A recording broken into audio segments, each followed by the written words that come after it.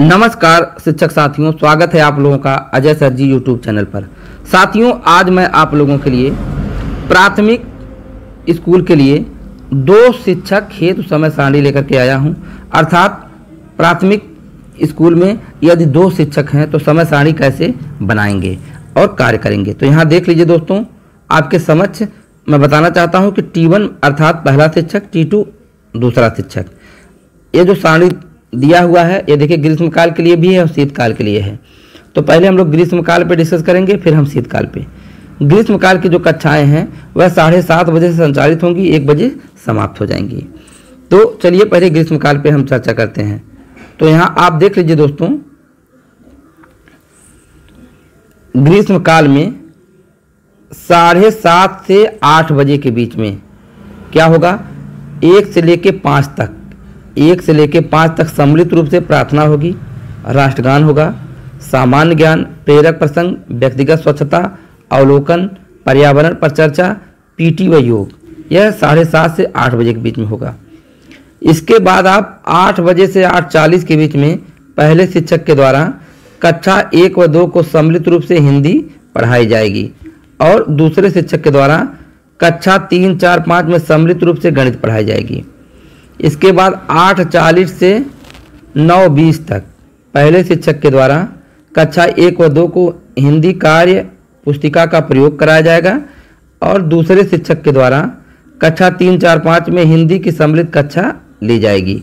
इसके बाद नौ बीस से दस बजे तक दूसरे शिक्षक के द्वारा कक्षा एक व दो में गणित की सम्मिलित कक्षा ली जाएगी और पहले शिक्षक के द्वारा कक्षा तीन चार पाँच में पर्यावरण अध्ययन की सम्मिलित कक्षा ली जाएगी।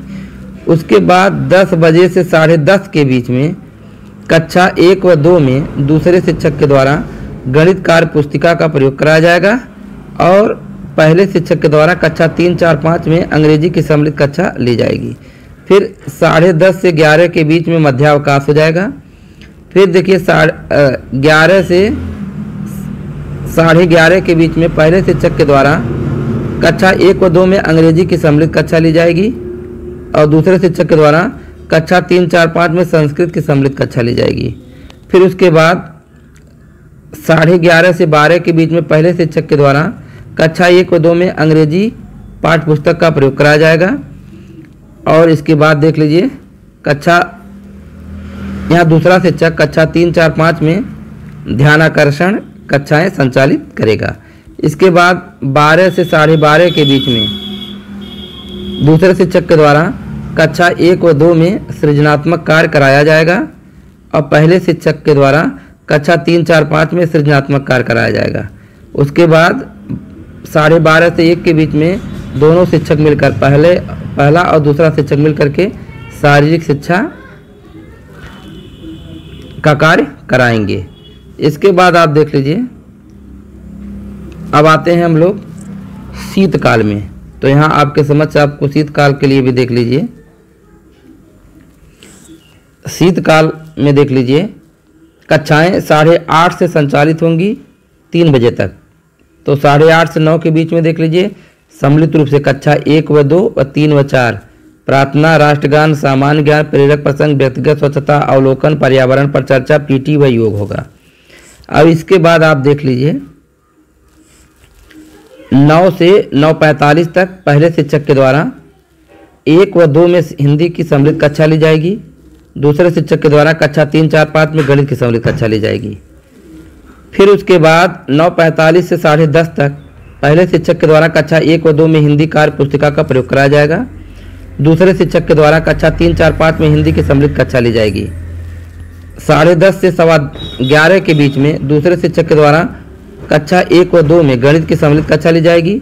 पहले शिक्षक के द्वारा कक्षा तीन चार पाँच में पर्यावरण अध्ययन की सम्मिलित कक्षा ली जाएगी।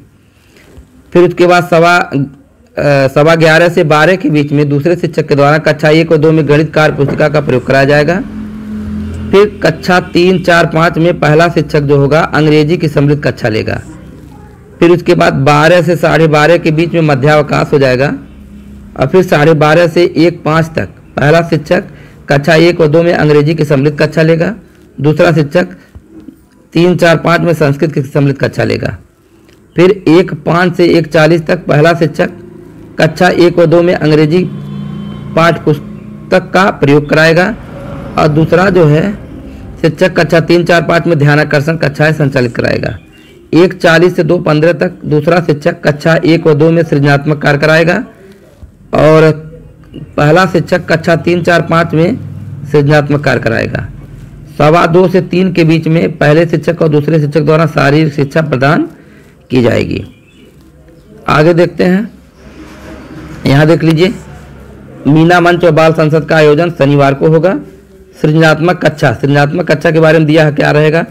कला, संगीत, कार्यानुभव, पुस्तकालय, ऑडियो, वीडियो से संबंधित गतिविधियाँ कराई जाएँगी। सृजनात्मक कक्षा में कला, संगीत, कार्यानुभव, पुस्तकालय, ऑडियो, वीडियो संबंधित गतिविधियाँ कराई जाएँगी। तो यह सारणी यही समाप्त हो रही है। आप लोगों से छोटी सी अपील है कि अगर वीडियो पसंद आया हो तो वीडियो को लाइक कर लीजिए। अगर ऐसे यूजफुल वीडियो आप पाना चाहते हैं तो मेरे चैनल को सब्सक्राइब करके बेल आइकान को भी प्रेस कर दीजिएगा। वीडियो देखने के लिए आप लोगों का बहुत बहुत धन्यवाद।